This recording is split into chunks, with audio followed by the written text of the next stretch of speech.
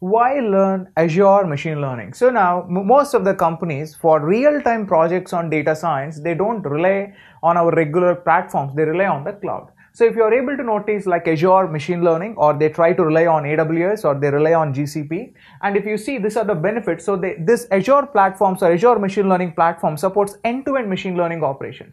So if your data is not having proper data labeling you can perform data labeling.